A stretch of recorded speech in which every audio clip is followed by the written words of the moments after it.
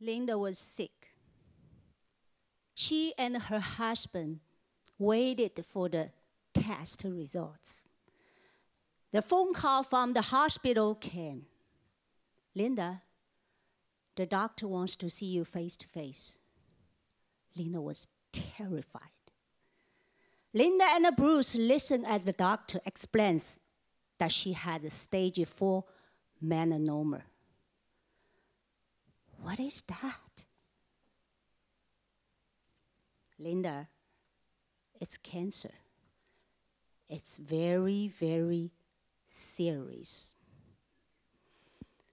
From that moment, Linda's life and her family's life drastically changed.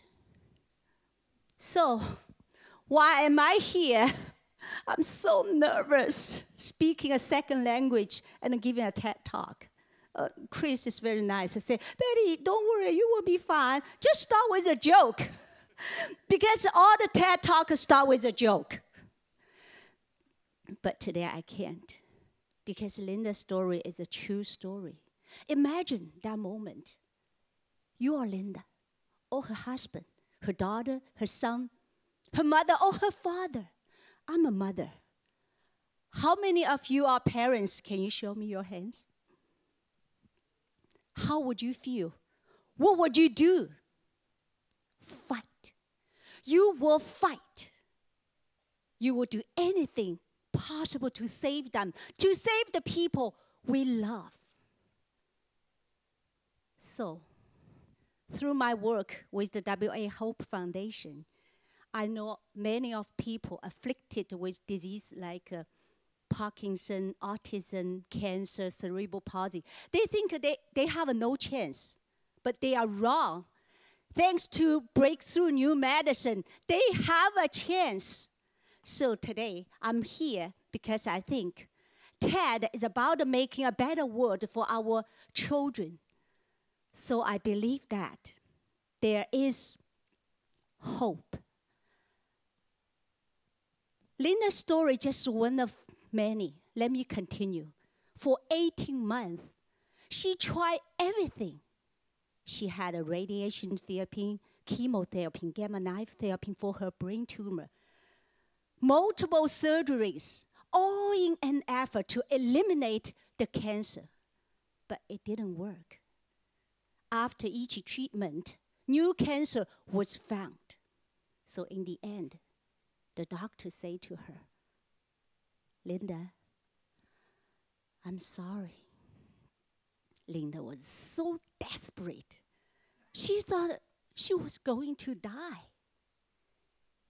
In one final effort to save Linda's life, she started clinical trials for a new cancer treatment.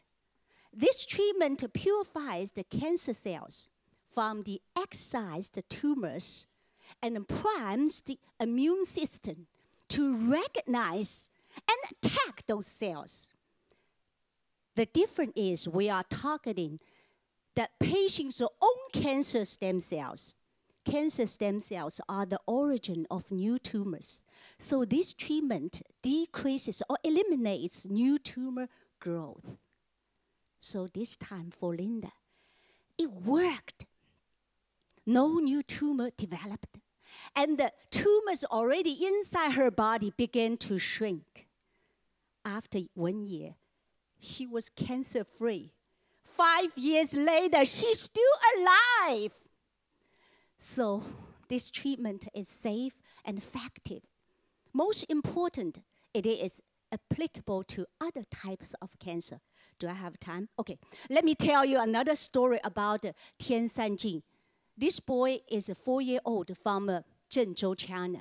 He has a cerebral palsy. When his parents brought him to see a doctor, he couldn't stop drooling, and he could barely speak. What words he did make were slurred. And his movement on the left side of his body was stiff and his limbs curled tight. He couldn't play like the other kids.